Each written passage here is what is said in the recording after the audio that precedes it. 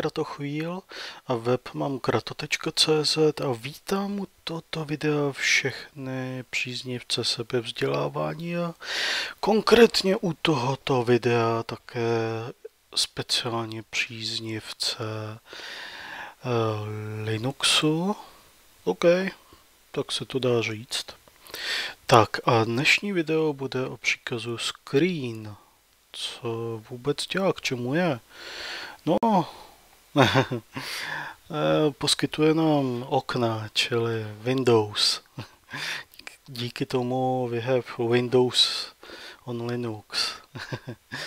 ne, teď vážně, je trochu jiný okna, než to možná vyznělo. Screen. Eh, tady to vypíše, co to všechno umí, tady to vypíše nějaký pocket, když dáme Enter, vypadá to, že se nic nestalo, ale něco velkého se přece jenom stalo. Zapamatujte si Ctrl a Ctrl a Ctrl a tak, je to docela blízko, tak akorát tak na dva prsty. Já jsem to teď stisknul a teď si zapamatujte otazník. A to vám stačí k tomu, abyste si tady přečetli, co všechno to umí. Tak, teď jste totiž, teď je ten screen už spuštěný a to, co jsme viděli, ten příkazový řádek už je spuštěný v prvním okně toho screenu. No a to si přečtěte pak, já vás teď provedu tím, co tady toho používám nejčastěji. E, takže Enterem se vrátím a Ctrl A malý samozřejmě dvojitá úvozovka zobrazí takhle seznam oken. Já si je dokonce můžu pojmenovávat. Myslím, že eh, jo, kontrol, dvojtečka, mění, ne, to je příkaz. Tak už jsem zase zapomněl, čím se přejmenovávají okna, totiž já to pěkně prasím, takže já mám spoustu oken bež a pak nevím, který je který. Ale já mám totiž takový zvyk, já jsem si za ta léta zvykl, jestli chcete, můžete si taky vypěstovat nějaký zvyk na screen. Já ho ukončím. Já jsem si zvykl, že na tom, ono to není ono, první, ono je to nultý okno, to, co je první, a že na tom spustím příkaz stop a rovnou to dělám takhle, že napíšu screen top a on ho přímo spustí. Já když teď dám Ctrl A, tady to, tak vidíme, pojmenoval tohle okno podle toho příkazu rovnou. Takže vidíme, že na, v okně číslo 0 máme spuštěný příkaz stop, když toto je pouze název, to není ten příkaz, to tam běží, toto je ve skutečnosti název, takže já kdybych ho ukončil nebo něco, tak se to nepřejmenuje. Ale tak a tady eh, na nultém okně nechávám běžet top a teď to dělám tak, že Ctrl A a malé C vytvoří nové okno, podíváme se, Ctrl A, úvozovky dvojitý, jo, je tam. Takže teď už máme dvě okna a tady můžu normálně pracovat, třeba spustím si Midnight Commander. A teď se mezi nimi můžu přepínat Ctrl A a ještě jednou Ctrl A přepíná mezi na naposled použitý okno, takže já když takhle držím Ctrl a vždycky zmačknu dvakrát dělá hrozně rychle, tak se akorát takhle přepínám vždycky mezi tím nultým oknem, kde mi běží top a mezi tím prvním, kde mi běží Midnight Commander. Mimochodem, dá se tady pohybovat čipkama a Enter přepne na to okno. Tak, eh, dal, eh, další, samozřejmě vytvoříme si teda další okno, takže Ctrl A C jako Create. Tak, už máme třetí okno, který má číslo 2, logicky. Tady si třeba něco vypíšeme a já nevím, co ještě, zase se podíváme. Jo, můžeme se tu pěkně mezi nimi pohybovat. Eh, když to pípne mimochodem, tak eh, ne, opačně chci říct, když to něco vypíše, tak se vám to tady označí. Já třeba sem dám eh, zpět dvě sekundy a potom vypíšu jedničku a rychle se přepnu sem na nulu. Aha, tak se to neoznačí. Ne, tak se to neoznačuje. Nějaký screeny to dělají, že jakmile se něco vypíše v nějakém okně, tak ho udělají nějak jinak. Nebo když to tam pípne, nebo něco takového se stane. Fajn, takže Já už teď mám tři okna a co se stane, kdyby vypadl internet? Zase si to simulujeme. Zavřít kartu a uh, spadlo nám spojení. Otevřeme si kartu, jako by jsme se připojili zpátky.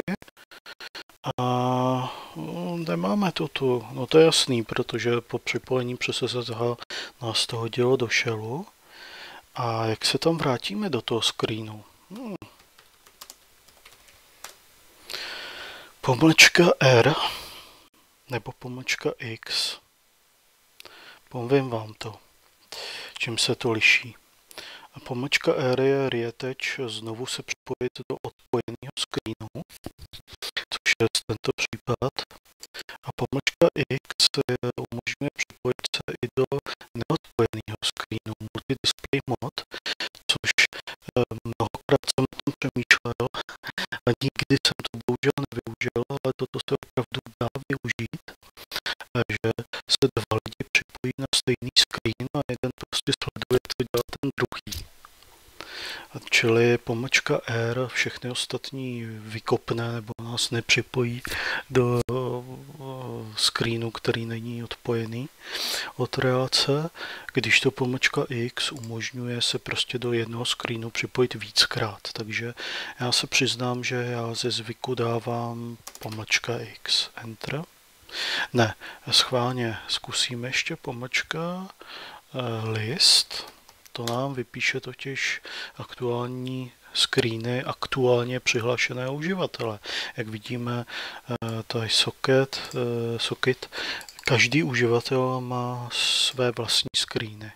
Takže pokud jsme nějaký uživatel Krato jenom a chceme, aby to běželo pod routem, tak bychom napsali sudo screen když dám pomlčka X, tak mě to nikam nepřipojí po zadání hesla, protože uh, pod uživatelem root žádný screen neběží, již to můžu spustit zase takhle top a mám tu spuštěný screen úplně nezávislý pod uživatelem root.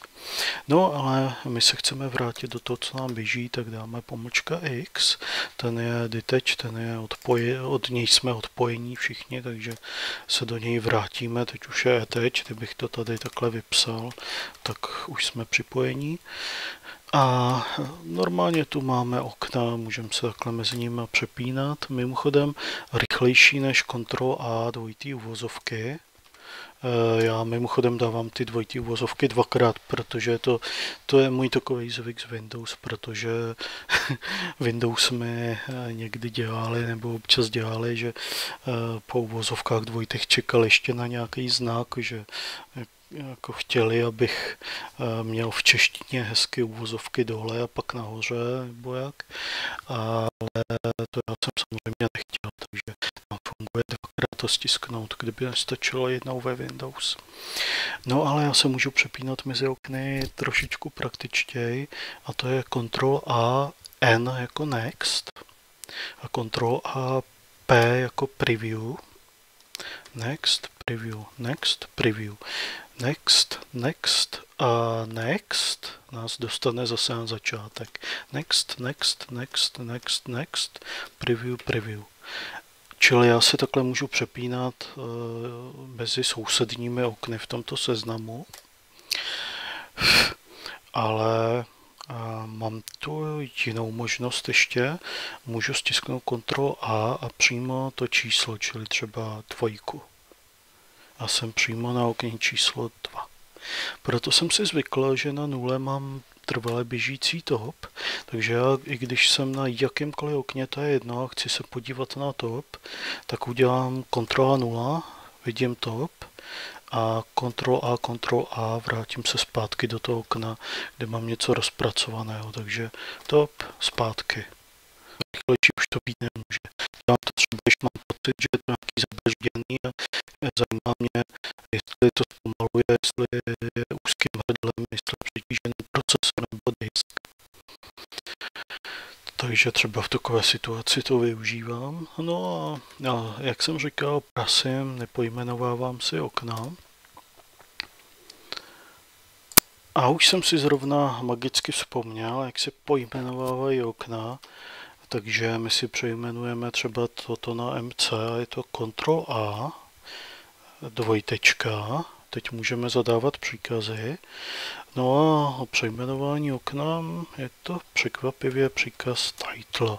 Takže dvojtečka title, mezera, MC jako Midnight Commander, to je to, co nám tu běží. Podíváme se Ctrl A dvojitý vozovky a máme to tu nazvané. Můžeme si takhle třeba shell přejmenovat Ctrl A dvojtečka title a napsat třeba eh, něco jako zde běží záloha. Bude to fungovat? Ne, máme tam moc argumentů, pardon. Zde běží záloha v uvozovkách dvojitých, už funguje perfektně. Top MC Bash, který jsme přejmenovali na zde běží záloha. Nádhera, že? no jo, ale tady dejme tomu opravdu něco poběží, já nevím, nasimuluji, že se tady něco děje, třeba tím, že uh, while true do uděláme nekonečný cyklus, který bude vypisovat jenom aktuální datum a pak si schrupne sekundu. Tak, mám to správně? Jo, mám, výborně. Takže dejme tomu, tady nám něco běží. No a my si tady můžeme v Meetend Commandu něco kopírovat a vyhledávat, escape otazník, vyvolalo toto a, a kdo ví, co ještě dělat, to občas navštívit a, a, a úplně v pohodě. No a vrátíme se Ctrl A2. No a vidíme, že nám to tu stále běží, ale co když my chceme průběh toho zálohování nebo obecně to, co nám tady běží, vidět zároveň přitom, co pracujeme třeba v Mintain Commanderu, tak na to slouží Ctrl A s vyslítko, taková ta roura. To nám rozdělí ten screen na dva monitory virtuální a mezi nimi přeskakujeme přes Ctrl A tabulátor. Já ještě teda ukážu Ctrl A dvě úvozovky, tak normálně opravdu je to, chová se to takhle nezávislé. A teď dám kontrola tabulátora. Podívejte se, kurzor mi přeskočil sem napravo. Ctrl A dvojitá vozovka a teď jsem tady a můžu si tady vybrat, co chci vidět. Takže já si vyberu tu dvojku a tady teď napravo vidím ten průběh nějakého zálohování nebo něčeho. Normálně se můžu i to ovládat samozřejmě a kontrola tabulátor a jsem zase zpátky nalevo v Midnight Commanderu. Aby to nebylo málo, tak já můžu eh, si dát vedle sebe třeba tři. Takže tady si dám nulu, kontrola tab a tabulátor jedničku, kontrola tabulátor dvojku už tam máme, kontrola tabulátor, kontrola tabulátor nás vrátil sem do tady toho prostředního a máme tu vlastně všechno tři okna takhle hezky na levou prostřed a napravo otevřená. Eh, ať se to lépe vejde, tak přes kontrol kolečko myši trochu eh, zmenším text. Hezčí?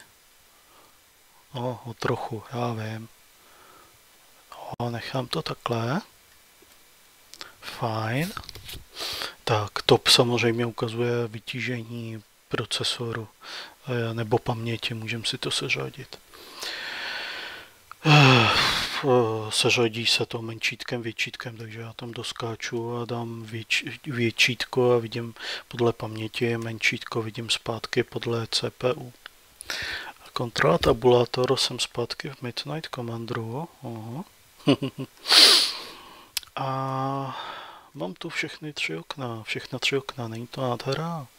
Fajn. A teď, jo, mimochodem dole, jak jste si všimli, tak uh, jsou názvy těch oken.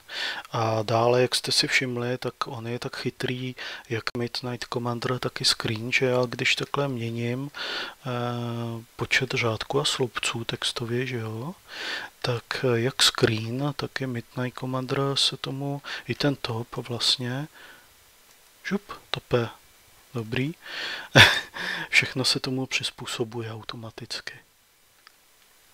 Takže když předám okno, když změním velikost počtu řádků sloupců, eh, umí se to tomu přizpůsobit.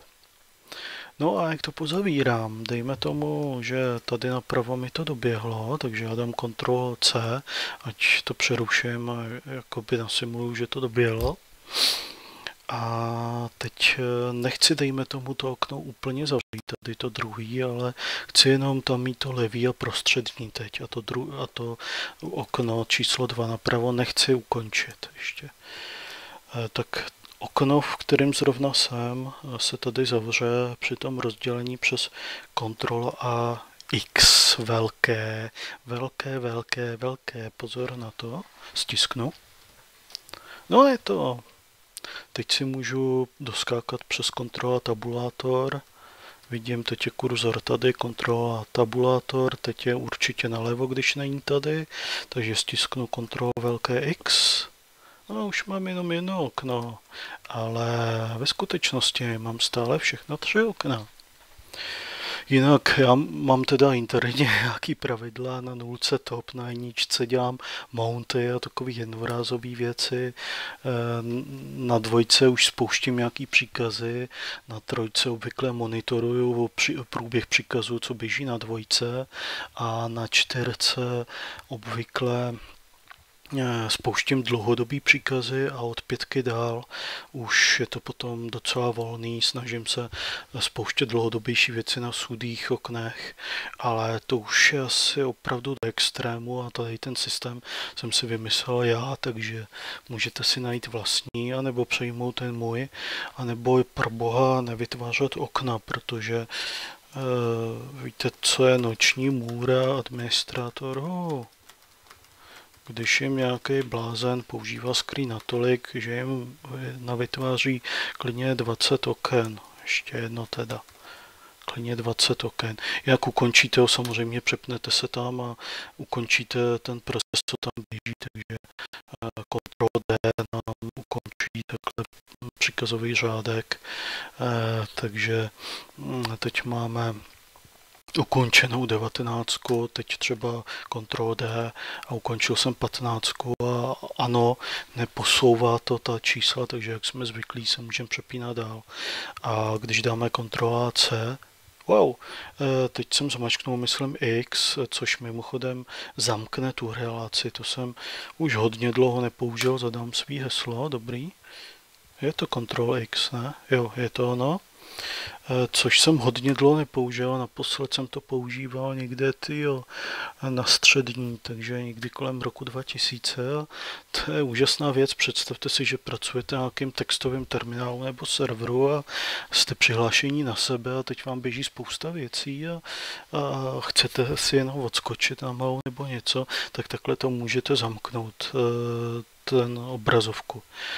Ale dělejte to, protože kdyby při tom potřeboval, tak by něco, tak by měl problém, takže lepší je ukončit screen, ale vlastně ne ukončit, ale odpojit se od něj. A jako kdyby vám spadlo odpojení, je to v principu to tež. A pak se do něj vrátit přes to pomlčka X. Takže pokud uh, chcete se odpojit, tak a nechcete to na brutálku zavřít takhle před chvílí, tak můžete stisknout Ctrl A, D, jako detach, odpojit. A tady nám to napsalo detached from, odpojili jste se a tady to je nějaký identifikátor toho screenu. A teď můžu, můžu se normálně odpojit cokoliv. A teď zase si otevřu, zvětším. A teď napíšu screen, ani nemusím list, já vím, že mi tam běží, takže zadám pomlčka X. No a jsem zase tady. Tak. Eh, pokud máme nějaký zlej příkaz, který nám běží furt, teď jsem na trojce, to jsem nechtěl, vrátím se na dvojku, eh, tady už spustím a nejde nám ukončit, kontrol C nefunguje, tak my můžeme eh, to okno zabít, ale ne vždycky to stačí.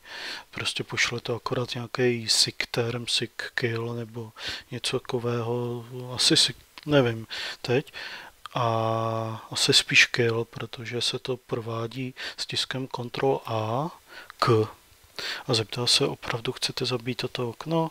A když zvolíte Y, sorry, nekonečný cyklet, jo, si tě na památku uložím do schránky a tady do poznámkového bloku mimo monitor. a s celou řádkou. Budeš odpočívat v pokoji v poznámkovém bloku. a když to když stiskneme Y, tak nám to už neběží napísal tady Windows 2, zde běží za kill, když dám Ctrl A2, tak mi zobrazí seznam oken, protože dvojka už neexistuje. Když dám Ctrl AC, tak je to znovu vytvoří. Tak, když to chci ukončit, myslím, že tam bylo nějaký kontrola Q, ne, kontrola velké Q, ne.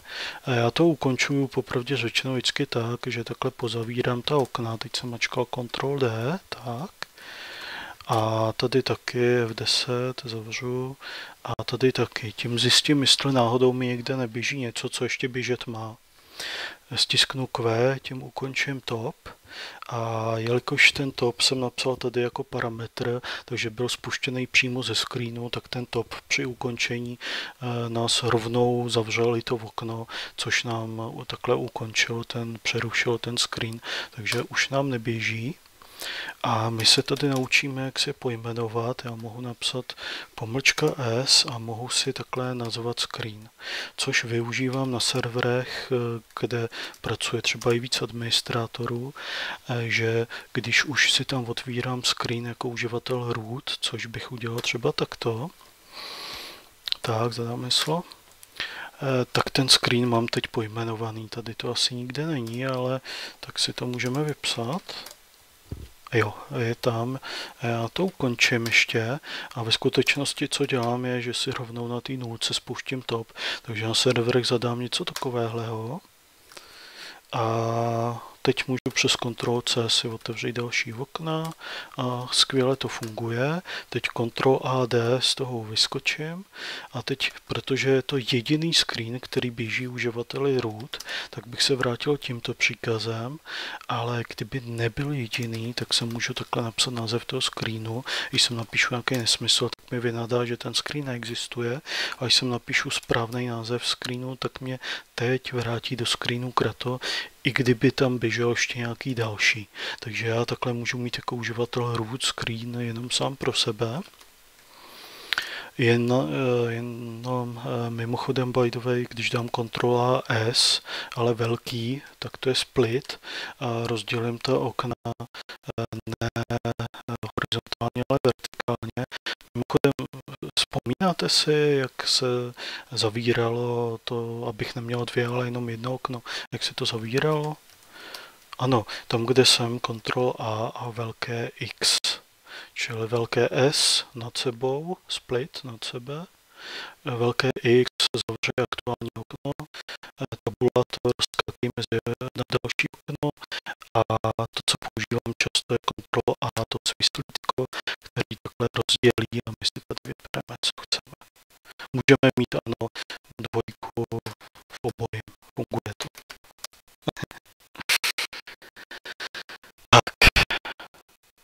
mi připomnělo ten známý vtip Norton Commander z DOSu. Tak koukám vlevo disk C, vpravo disk C, říkám si, k čemu jsou mi dva disky C? Tak jsem jeden z nich smazal. Takže to už tak nedělejte. Už jsem se totiž teď chtěl odhlásit, že jo, napravo, ale to mě takhle odhlásí nalevo. Tak, protože jsem měl v obojím otevřenou tu dvojku. Tak, Eh, kontrola X to zavře, takže já vlastně nad sebou nevyužívám nikdy, já si otvírám takhle tím svislítkem vždycky vedle sebe a kontrola X zase zavírám. Kvečkem ukončíme top, což nám neukončilo screen, protože jsme to nenapsali jako parametr, pozavíráme okna a jsme zase tady v show. No, eh, takže ukázali jsme si, jo, ještě existuje mimochodem něco jako no-hub, což by nám mělo fungovat podobně, že sem napíšu třeba toto. Má to spoustu parametrů, můžete se podívat jaký. A když budu teď strašně rychlej, nebyl jsem strašně rychlej, ale tenhle příkaz no můžete se podívat na nápovědy, jak se s tím hrát by měl dělat i bez screenu.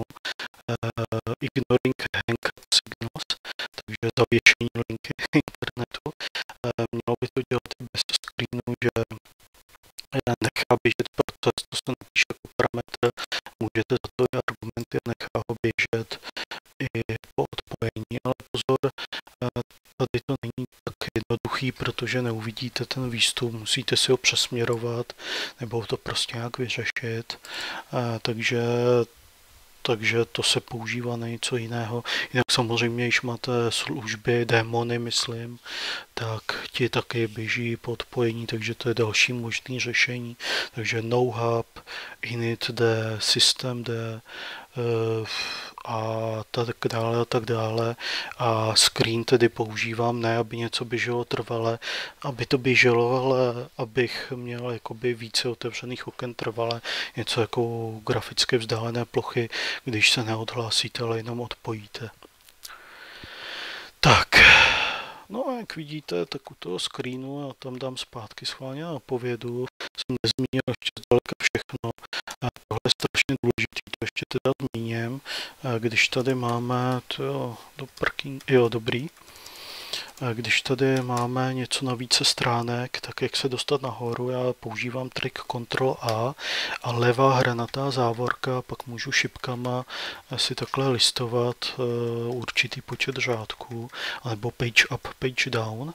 A potom eh, backspacem nebo deletem nebo něčím to zruším, ale pozor, tady mám ASDF, teď si zalistuju, teď stisknu backspace, napsal mi copy mod aborted, můžu dál psát, ale oh, to jsem nechtěl, ASDF, ale kdybych chtěl uh, něco smazat, uh, teda kdybych ho stisknul ještě jednou, tak mi to F umaže.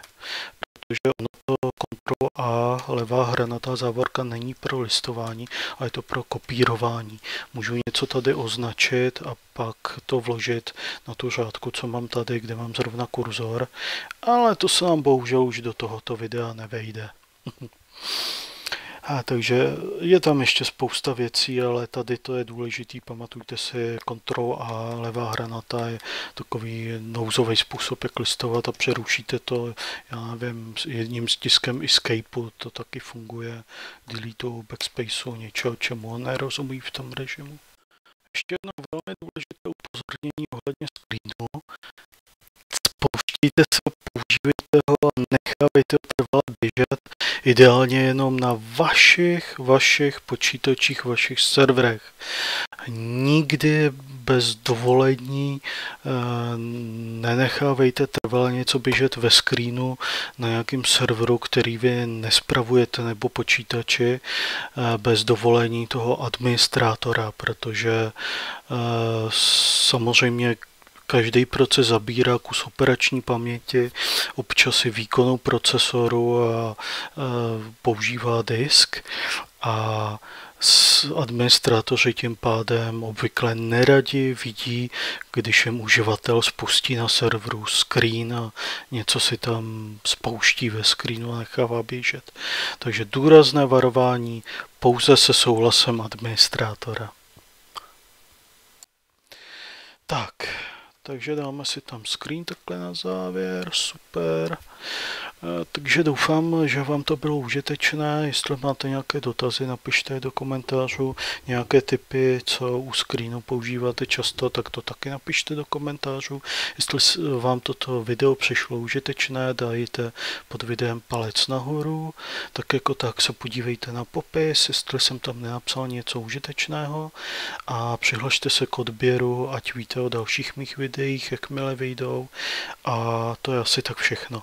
Takže sklínu zdar, loučím se s vámi až do dalšího videa.